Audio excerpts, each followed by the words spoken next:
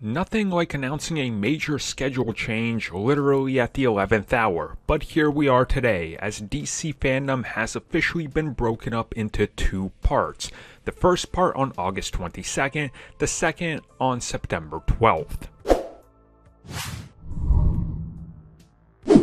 At least I'm glad somebody at WB listened and was like, hey, if we stream for 24 hours, there's a uh, 12 hour period of time, or at least 10 to 12, where people have to sleep. So, how exactly are they going to be able to uh, watch everything? So, they're not. They officially announced just now that it is being broken apart. So, a few weeks there, but DC FanDome will be split into two, and the content is going to be redistributed all around.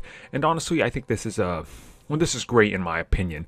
Again, there's going to be so much coming at us, or would have been this DC FanDome, that things were overlapping. Why would you want that?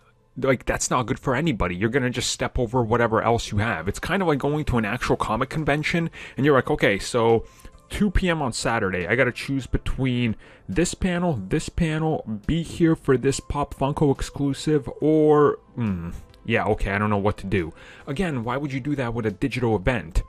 So yeah, I, I kind of uh, I'm happy that this is happening because again, this is a good call. This will save them for being able to build up what's next and being able to maybe, you know, plan a little bit ahead and hype up the next event instead of having just everything hit in a 24 hour period and then some stuff might fly under the radar.